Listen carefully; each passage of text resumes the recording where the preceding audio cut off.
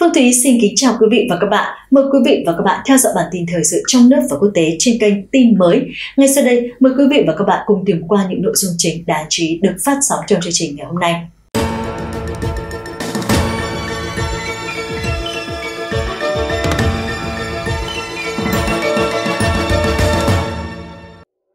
Thưa quý vị, Kể từ giữa tháng này, Phúc Kiến liên tục hứng chịu mưa lớn và lũ lụt, gây ra thiên tai hiếm có trong lịch sử. Ngành du lịch địa phương cũng bị ảnh hưởng nặng nề. Phóng viên được biết từ bộ phận du lịch ở đây rằng các danh lam thắng cảnh ở núi Vũ và Thái Ninh vốn là ngành du lịch chính đã bị hư hại và các danh lam thắng cảnh đã bị đóng cửa để ngừng tiếp nhận khách du lịch. Mặc dù danh lam thắng cảnh đã có không bị thiệt hại lớn, lượng khách đến tham quan đã sụt giảm nghiêm trọng. Làng Hạ Mỹ, một ngôi làng lịch sử và văn hóa nổi tiếng ở Trung Quốc, là một phần không thể thiếu của di sản văn hóa thế giới núi Vũ, nơi vẫn giữ được phong cách của các tòa nhà cổ trong các triều đại nhà Minh và nhà Thanh. Trong một cuộc phỏng vấn tại làng Hạ Mỹ, phóng viên đã nhìn thấy một con kênh nhân tạo dài hơn 900 mét chạy qua làng đã trở thành tàn tích những con đường cổ kính trong thiên kinh của cổ đại, địa điểm du lịch cổ kính trước đây đầy bùn và nước. Các tòa nhà cổ đã bị hư hại và một số đã đổ nát. Châu Anh Văn, người đứng đầu công ty du lịch văn hóa dân gian làng Hạ Mỹ cho biết, nhiều tòa nhà cổ nổi tiếng trong khu danh lam thắng cảnh đã bị hư hại và hầu hết các ngôi nhà trong làng đều bị lũ lụt nhấn chìm. Dự kiến sẽ không thể tiếp tục hoạt động đón khách du lịch trở lại trong vòng một năm. Hiện tại, các sở quy hoạch và xây dựng đã can thiệp vào dự án khôi phục các ngôi nhà cổ trong thảm họa mưa bão liên tục ở Phúc Kiến, một số khu vực của khu nghỉ dưỡng Vũ Di Sơn bị ngập lụt, đường giao thông du lịch bị gián đoạn. Một số lượng lớn khách sạn, nhà hàng và cửa hàng du lịch bị ngâm trong nước, đường trong khu danh lam thắng cảnh bị hư hại do lở núi. Một lượng lớn du khách bị mắc kẹt hiện đã được sơ tán. Đài Ninh, Tam Minh được đề cử là di sản thiên nhiên thế giới nhờ địa hình đan hà độc đáo, là khu vực bị ảnh hưởng nặng nề nhất bởi thảm họa mưa lũ này, với lượng mưa 400 năm mới xuất hiện một lần. 10 danh lam thắng cảnh mới được khai trương trong quận đều bị lũ lụt ập đến. Quận Đài Ninh bị ngập sâu hơn 3 mét, một số danh lam thắng cảnh và cơ sở vật chất bị phá hủy hoàn toàn. Theo người phụ trách Cục Du lịch tỉnh Phúc Kiến, từ góc độ toàn ngành du lịch Phúc Kiến, các điểm du lịch ở Tây Bắc Phúc Kiến đã bị thiệt hại nặng nề. Đặc biệt là các cơ sở đón tiếp khách du lịch ở Thái Ninh, Vũ Di Sơn, Diên Bình, Thận Sương và Thiều Vũ cũng bị thiệt hại ở các mức độ khác nhau. Điều này có thể ảnh hưởng đến lượng khách du lịch đến Phúc Kiến. Thưa quý vị, mới thoát khỏi hạn hán một tháng trước, giờ lại hứng chịu mưa lớn, hạn hán và lũ lụt liên tiếp xảy ra. Trụ sở kiểm soát lũ lụt và cứu trợ hạn hán của chúng tôi lo lắng quanh năm. Nhiều ngày qua, trụ sở phòng chống lũ lụt hạn hán các cán bộ cười luôn gượng với phóng viên. Đồng thời, khí hậu tại đây diễn biến bất thường, miền Nam mưa nhiều, miền Bắc tiếp tục thời tiết nhiệt độ cao. Sáng hôm qua, Đài quan sát khí tượng Trung ương đã phát tín hiệu cảnh báo mưa bão màu vàng và Quảng Tây, Quảng Đông, Phúc Kiến, Chiết Giang và Giang Tây sẽ có mưa lớn, đồng thời Nội Mông, Hắc Long Giang, Cát Lâm và những nơi khác đã đưa ra cảnh báo nhiệt độ cao màu xanh lam với nhiệt độ cao, nắng và nóng.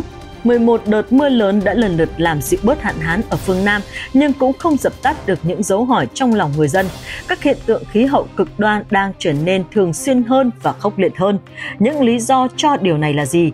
Bắc Nam nóng lạnh nghịch đảo, làm nổi bật tính dị thường của khí hậu. Theo thống kê của Đài quan sát khí tượng Trung ương, kể từ tháng này, lượng mưa ở hầu hết Giang Nam và Bắc Nam Trung Quốc trong cùng thời kỳ cao hơn 20% so với bình thường và hầu hết Giang Tây, Tây Bắc Phúc Kiến, Bắc Quảng Đông và một phần của phía Nam Hồ Nam đã cao gấp 50% đến gấp đôi.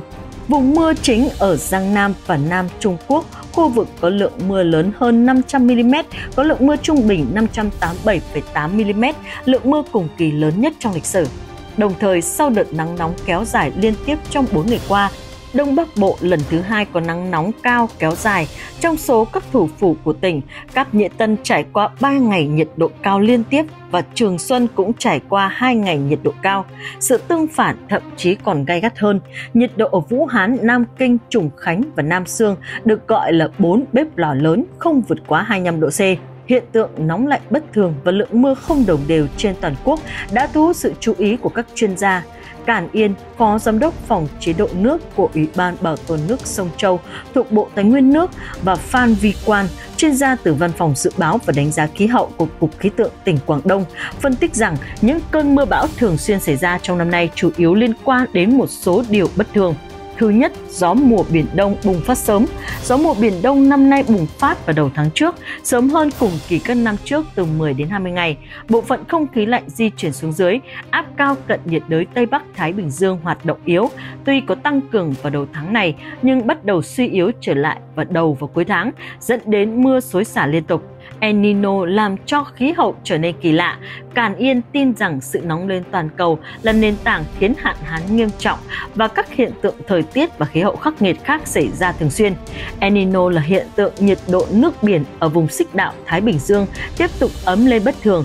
Nó sẽ biến vùng biển phía đông Thái Bình Dương vốn là vùng nước lạnh thành vùng nước ấm, dẫn đến sóng thần và bão dữ dội, gây hạn hán ở một số khu vực và lượng mưa vượt mức ở những khu vực khác.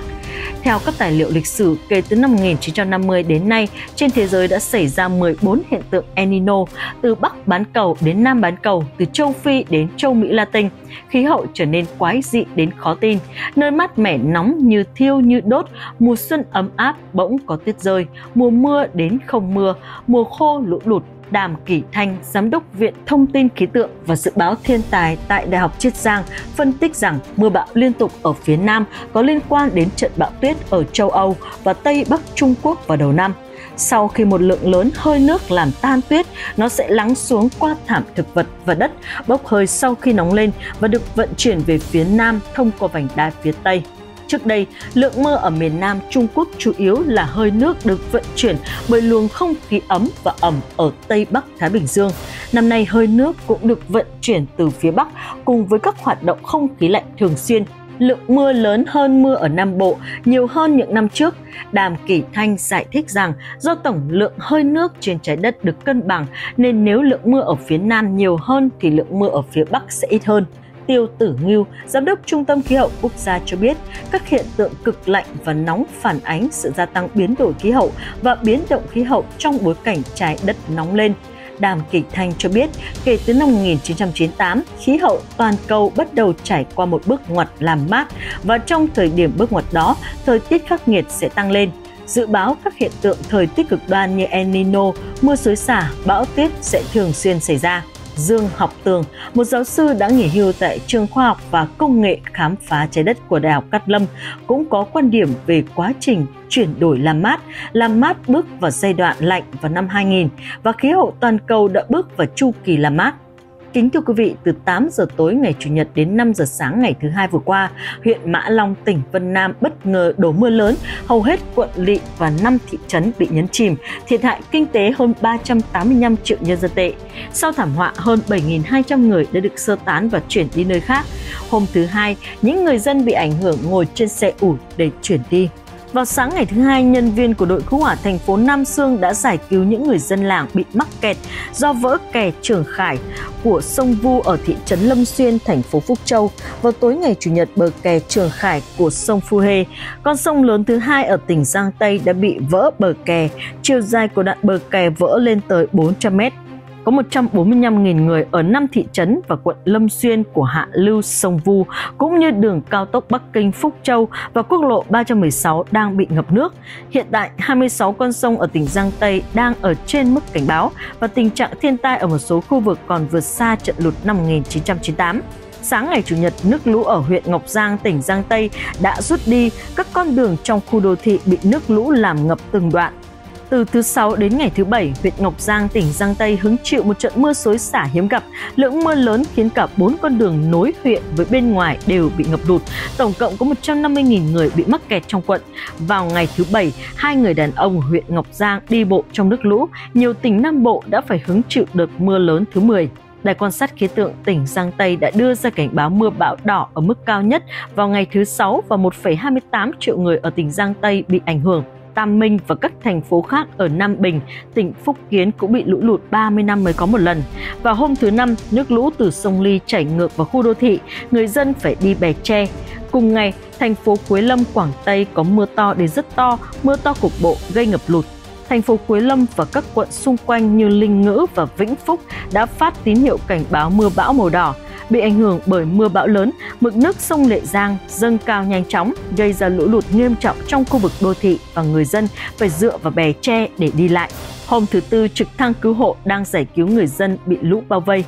Thưa quý vị, kể từ tuần trước, Giang Nam và Nam Trung Quốc đã hứng chịu đợt mưa lớn thứ 9 kể từ tháng trước, gây ra thảm họa ở 9 thành phố và 26 quận của Quảng Tây, với tổng số 630.000 người bị ảnh hưởng và tổng số 98.200 người phải di rời và tái định cư, 339.900 ha cây trồng bị ảnh hưởng, 2.023 ngôi nhà bị sập do thiên tai. Vào tối ngày thứ Tư, một vụ lở đất xảy ra cách tuyến đường Diên Tân của huyện lộ 11 km ở thành phố Nam Bình, tỉnh Phúc Kiến. Một chiếc xe tải nhỏ đi qua đoạn đường này đã bị đẩy xuống nước. 7 người trong số họ đã được giải cứu và 24 người đã mất tích. Từ đêm ngày thứ ba, Nam Bình, Phúc Kiến có mưa lớn, lượng mưa lớn tập trung trong thời gian ngắn đã gây ra lở đất và các thảm họa địa chất khác ở Diên Bình, Thuận Sương và những nơi khác. Trước đó, lũ gần như phủ kín lan can đỉnh thành cổ. Từ 3 giờ đêm đến 10 giờ ngày thứ năm, Đài quan sát khí tượng tỉnh Hồ Nam đã liên tiếp đưa ra 6 cảnh báo mưa bão màu đỏ cho huyện Phượng Hoàng, huyện Tân Hoa và các khu vực trung tâm và phía tây khác của Hồ Nam. Ngày hôm đó, cơn mưa xối xả đã đổ xuống huyện Phượng Hoàng xinh đẹp ở phía tây Hồ Nam dòng sông Đà Giang cuồng nộ đã làm ngập lối đi dạo ven sông và danh lam thắng cảnh nổi tiếng Tiêu Nham ở thành phố cổ Phượng Hoàng. Một số đường phố bị ngập do hệ thống thoát nước kém gây ngập lụt làm 6 người chết. Thưa quý vị, vào 3 ngày trước tại làng Cát Lý, thị trấn Lương Giang, thành phố Lai Bình, tỉnh Quảng Tây xảy ra hiện tượng sụt lún đất tạo thành bốn hố lớn khiến tường nhà dân bị nứt và nghiêng. Chính quyền địa phương đã di rời toàn bộ dân làng đến khu vực an toàn. Tính đến 16 giờ cùng ngày, 2,82 triệu người ở Quảng Tây đã bị ảnh hưởng bởi sụt lở đất và tổng cộng 140.000 người đã được chuyển đi khẩn cấp. Quảng Tây có mưa lớn, nước sông tràn vào trường trung học số 2 của huyện tự trị Duan Yao vào buổi sáng. Hơn 1.000 giáo viên và học sinh trung học phổ thông vẫn miệt mài ôn thi dưới nước. Hiện tại, lượng mưa lớn đã khiến 36 người thiệt mạng. Cùng ngày, trường trung học thực nghiệm Lai Bình bị lũ bao vây và hơn 650 học sinh bị mắc kẹt trong tòa nhà giảng dạy. Các cán bộ và chiến sĩ phòng cháy chữa cháy đã bất chấp mưa để di chuyển các em học sinh ra khỏi trường. Vào ngày hôm đó, một số khu vực của Quảng Tây hứng chịu mưa xối xả, ảnh hưởng đến 1,17 triệu người và 57.800 người phải di rời khẩn cấp. Trong số đó, thành phố Lai Bình, 300 năm mới hứng chịu một trận mưa lớn, nhiều trường học bị ngập lụt, hơn 1.000 học sinh bị mắc kẹt trong nước lũ tại trường. Hôm đầu tuần có mưa lớn như chút nước ở huyện Supu, tỉnh Hồ Nam gây ra lũ quét. Bốn cây cầu trong huyện bị lũ lụt phá hủy. Huyết mạch giao thông giữa thị trấn Sơn Tây, nơi chịu ảnh hưởng nặng nề nhất và các huyện lân cận đều bị gián đoạn. Hơn 8.000 người trong thị trấn bị mắc kẹt trong hòn đảo biệt lập và không thể đi lại. Cục Khí tượng tỉnh Giang Tây đã thông báo rằng Giang Tây đã phải trải qua đợt mưa bão lớn nhất trong năm từ 17 giờ ngày hôm trước đến 17 giờ ngày hôm sau. Lượng mưa trung bình ở tỉnh Giang Tây lên tới 252 mm. Cộng đồng dân cư phố Lý Tử, tỉnh Triều Dương, khu ổ chuột lớn nhất ở thành phố Nam Sương ngập trong nước và nhiều ngôi nhà của cư dân nước trong nhà ngập sâu hơn 1 mét. Hôm qua, phía Bắc Quảng Đông, phía Đông Quảng Đông và châu thổ sông Châu Giang đã phải hứng chịu một trận mưa bão 50 năm mới có một lần ngập úng nghiêm trọng xảy ra ở một số khu vực của Quảng Châu và một số bãi đậu xe dân cư bị ngập trong nước. Mưa lớn đã khiến 15 người chết và 9 người mất tích trong tỉnh, thiệt hại kinh tế trực tiếp lên tới 1,252 tỷ nhân dân tệ. Do bị ảnh hưởng bởi rãnh trên cao từ 16 giờ ngày hôm kia đến 20 giờ ngày hôm qua, phía Bắc và phía Đông Quảng Đông xảy ra mưa lớn, 62 thị trấn thuộc 4 thành phố và 6 huyện bị lũ lụt và 1.037 ngôi nhà bị sập dân số là 400.800 người, dân số phải di rời là 12.857 người, tổng thiệt hại kinh tế trực tiếp là 376 triệu nhân dân tệ. Hôm nay một số khu vực của Trùng Khánh hứng chịu gió mạnh, mưa đá và mưa bão, một số quận và huyện bị ảnh hưởng nghiêm trọng tại làng Hội Long, thị trấn Hội Long, huyện Lương Bình, Trùng Khánh, mái của một ngôi nhà dân cư đã bị gió mạnh thổi bay. Hiện tại, lượng mưa ở Trùng Khánh vẫn đang tiếp tục và cường độ đã suy yếu. Tính đến 16 giờ ngày hôm nay, mưa bão đã làm 29 người chết, một người mất tích và 190 người bị thương.